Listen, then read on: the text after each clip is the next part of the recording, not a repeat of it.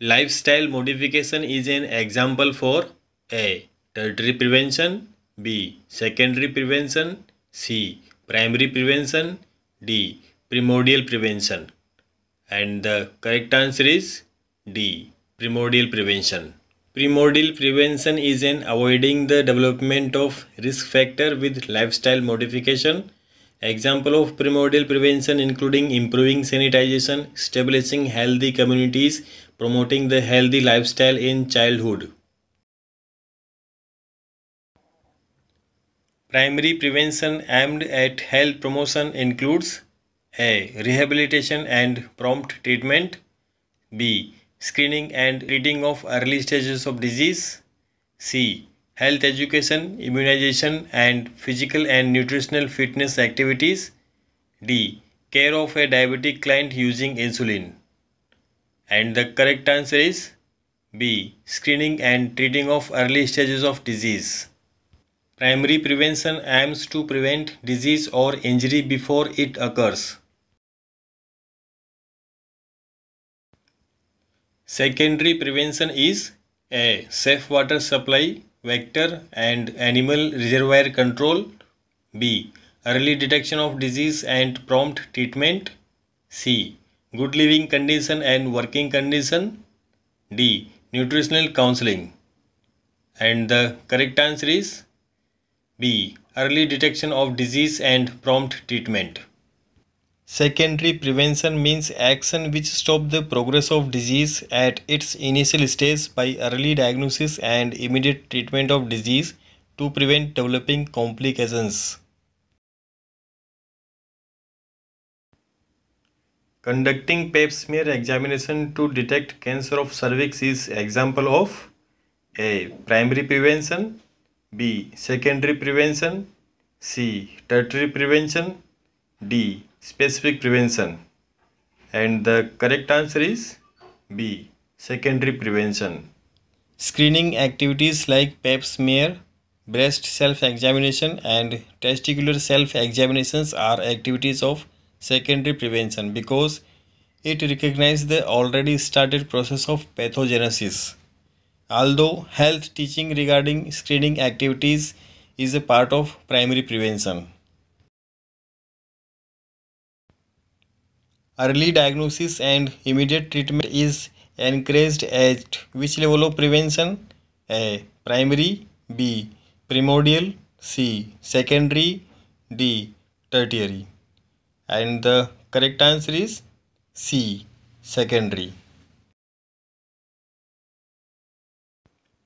Which of the following is not a part of the secondary prevention of mental illness? A. Crisis stabilization B. Screening C. Rehabilitation D. Early detection and the correct answer is C. Rehabilitation. Early diagnosis and immediate treatment is the part of secondary level of prevention. Psychiatric department in your hospital is conducting a screening program in primary school to identify children with attention deficit hyperactivity disorder. What level of prevention measures are employed here? A. Primary B. Secondary C. Tertiary D primordial and the correct answer is B secondary. What is the level of care which is oriented towards the promotion and maintenance of health, the prevention of communicable disease, the maintenance of common episodic diseases and monitoring of stable or chronic conditions? A. Secondary care level. B. Tertiary care level. C. Advanced care level. D. Primary care level. And the correct answer is D. Primary care level in the prevention of communicable diseases the primary prevention results from A. Immunization B. Early diagnosis C. Strict isolation D. Treatment of disease. And the correct answer is A. Immunization. Which of the following is not a primary prevention? A. Pulse polio immunization. B. Vitamin A supplementation. C. Breast self examination for tumor. D. Isoniazid to a baby breastfed by sputum positive tuberculosis mother. And the correct answer is C. Breast self examination for tumor. Breast self examination for tumor is a secondary level of prevention. Wearing seat belts, helmet and other safety equipments are example for A. Secondary health promotion behavior B. Primary health promotion behavior C. Holistic health care model D. Tertiary health promotion behavior and the correct answer is B. Primary health promotion behavior. Measures taken to prevent occurrence of disease A primary prevention B. secondary prevention C. tertiary prevention D. all of the above. And the correct answer is A primary prevention. Providing education to the school college and street children on prevention of drug addiction is an example of which level of prevention? A primary B primordial C tertiary D secondary and the correct answer is B primordial. The level of prevention would be directed at minimizing complications of diseases is known as A. Primary prevention B. Secondary prevention C. Tertiary prevention D.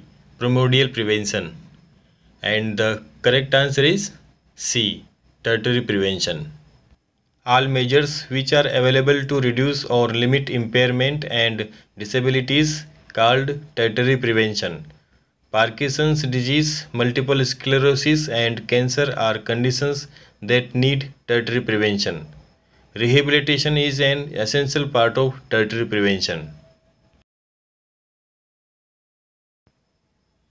Isolating and treating a child with measles means A primary prevention b primordial prevention c tertiary prevention d secondary prevention. And the correct answer is d secondary prevention. In case of communicable diseases isolation is primary prevention for others who are not infected. But isolating and treating a patient for infectious disorder like measles is secondary prevention for infected patient himself Levels of prevention in pathogenesis phase of natural history of disease are A. Primary and secondary prevention B. Secondary and tertiary prevention C. Primordial and primary prevention D. Primary and tertiary prevention and the correct answer is B. Secondary and tertiary prevention. Pathogenesis means the origin and development of disease because in pathogenesis phase the disease progress has been already started so prevention at this level is called secondary prevention. And it called tertiary prevention if pathogenesis is in advanced or late or terminal stage. Tertiary prevention is needed in which stage of natural history of disease? A. Pre-pathogenesis. B Pathogenesis C. Prodromal D. Terminal and the correct answer is D. Terminal.